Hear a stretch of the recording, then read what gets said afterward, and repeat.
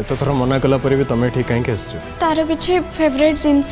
ଆଉ ମେଡିସିନ ନେଇକି ଆସିଛି ତମେ କ'ଣ ତମ ଭାଇ ପାଇଁ ଫେଭରେଟ୍ ନୁହେଁ କି